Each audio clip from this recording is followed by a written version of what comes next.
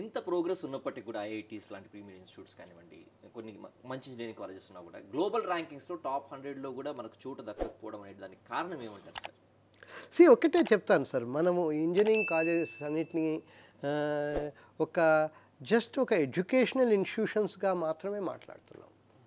అలా కాకుండా our focus if it is shifted to more research and take that education research should go hand in hand.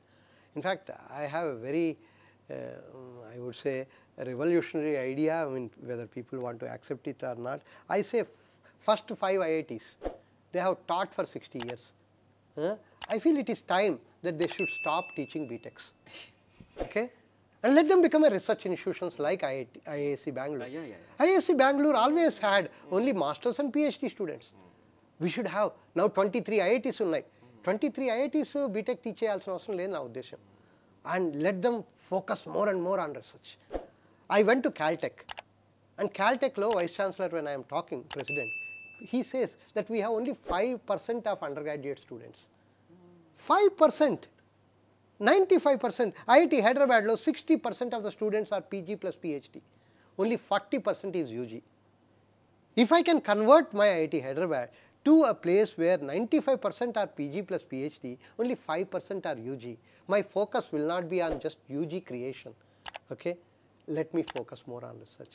This is the difference between MITs, Caltechs, and, and places like uh, uh, that.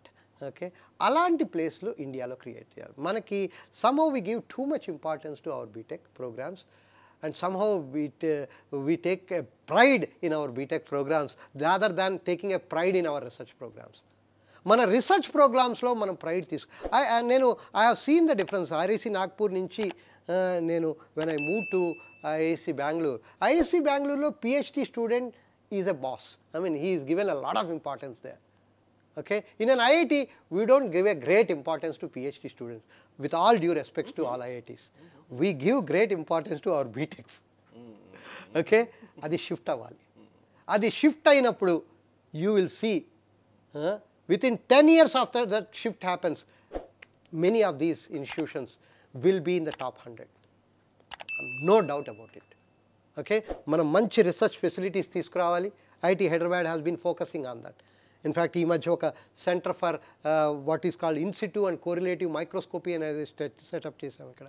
సాతి centre దాంట్లో we have facilities which are not there everywhere for example we have one microscope there we call it as atom probe ఈ atom probe అనేది మొత్తం మేము కొన్న టైంలో there only five more such atom probes in the whole world